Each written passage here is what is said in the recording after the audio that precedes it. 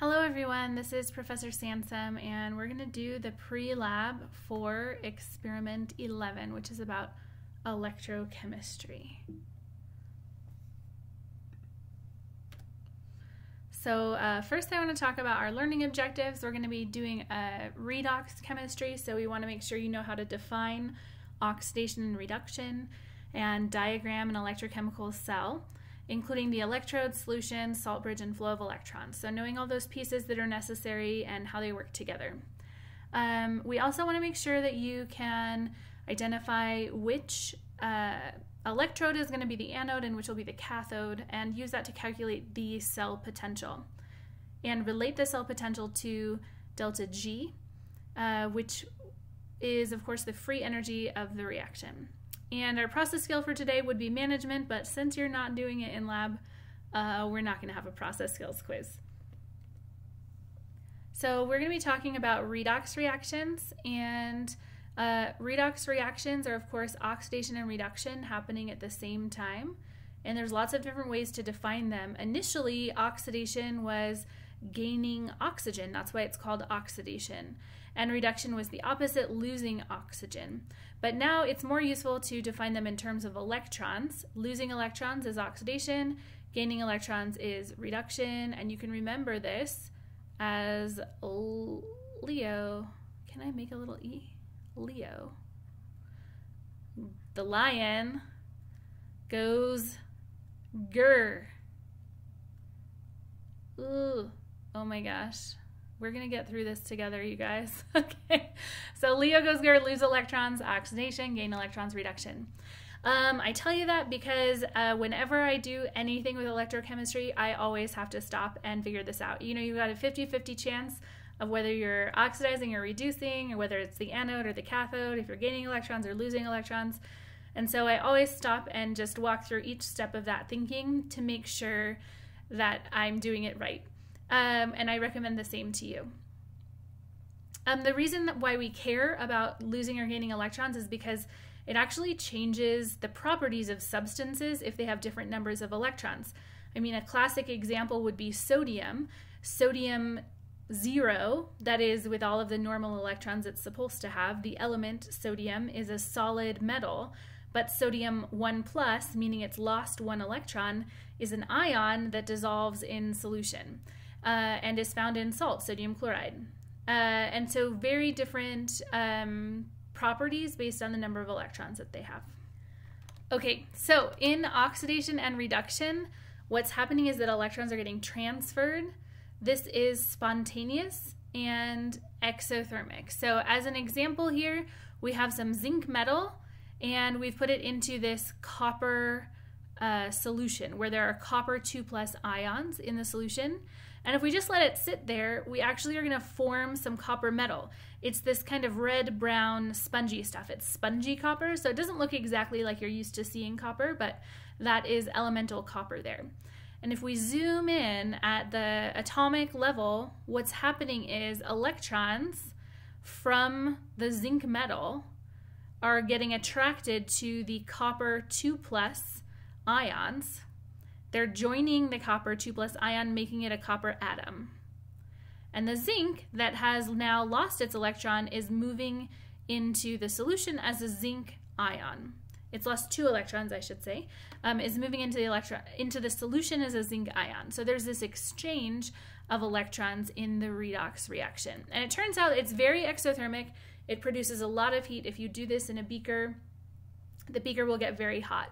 And that's nice, but heat isn't very useful um, in terms of an energy source, whereas electricity is very useful. We can use it to power things. And so um, we want to learn how do we set this up so that the spontaneous reaction that's happening, so that we can harness those electrons, because we know the electrons are going to be transferred. How can we do it so that we can use them for something? So, as a reminder, when we have electrochemistry, something's always oxidized and something's always reduced. Why does that happen? Go ahead and take a second and think about that. You can pause the video.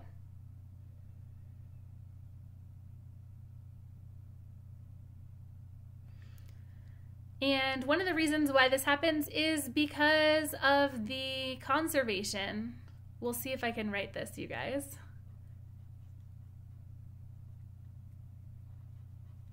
Conservation of matter, specifically electrons. If something is losing electrons, something else has to gain the electrons. So that's why oxidation always goes together with reduction. And so one way that can be useful to think about this is dividing the overall reaction into two half reactions. So the reaction that we just learned about, we had copper ions in solution and we had zinc metal, and we created copper solid and zinc ions. So which of these is getting oxidized and which is getting reduced? If we remember, oxidation is losing electrons, like Leo. Who here is losing electrons?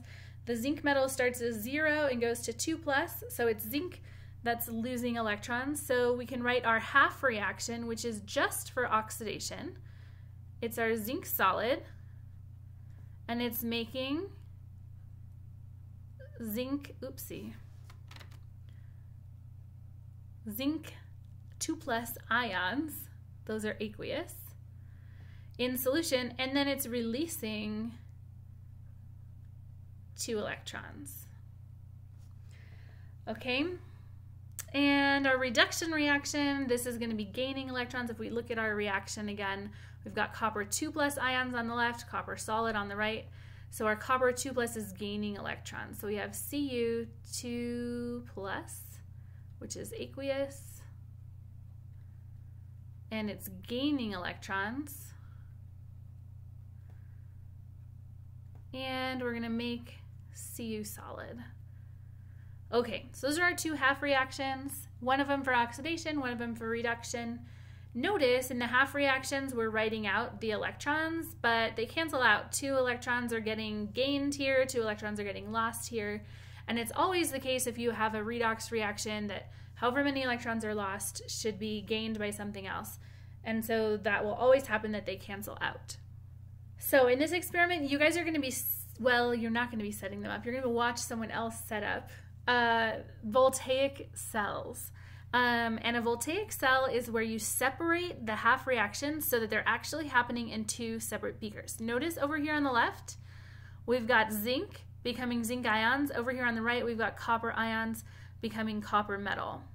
So here, electrons are being lost and the zinc ion goes into solution, but the electrons don't get attached to the copper ion in solution here. There are no copper ions. So instead the electrons travel through, up through the anode here, through the voltmeter, which can measure the um, essentially amount of electrons that are going through, into the copper metal cathode, where they will uh, stick to one of the copper ions in solution and make copper metal. So over time, the mass of this anode is actually going to go down, the mass of the cathode is going to go up. And meanwhile, we've got this nice flow of electrons. So if instead of a voltmeter, we put a light bulb here, or a motor, or anything else that needs electricity, we can run that based on this electrochemical reaction that's happening spontaneously. Um, how do we remember which one's the anode and the cathode? I remember it because um, a little expression, two animals went walking. It was an ox, ox,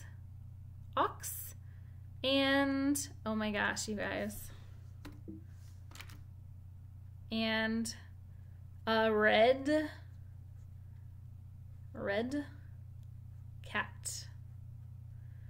Okay, um, this is my little expression, anode, oxidation, reduction, cathode.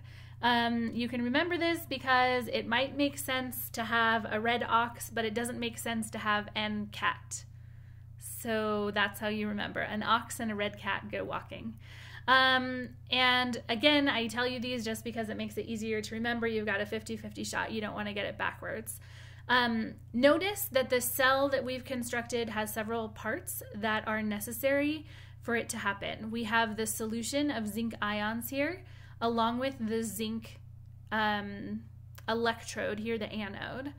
We have a solution of copper ions here along with a copper anode.